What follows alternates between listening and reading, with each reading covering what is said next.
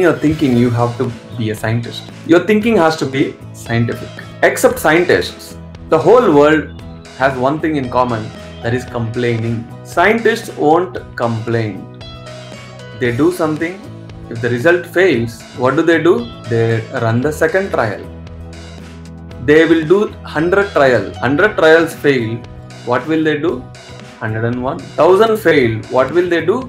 1001. Rather, what we do, we try once and talk about it 100 times. I tried, it did not work. I tried, it did not work. Reprogramming ourselves, not being scientific, but very, very unscientific. Yadbhavam tadbhavate. As you think, so it becomes. In your thinking, you have to be a scientist. Keep on experimenting. This one week, do one hour of meditation. Do all the measurements. How much you are happy.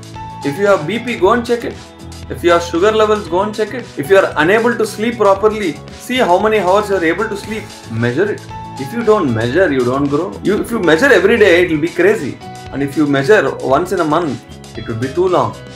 Weekly checking is perfect. Do one hour meditation every day for one week. Do all the checkups. And next week, do two hours.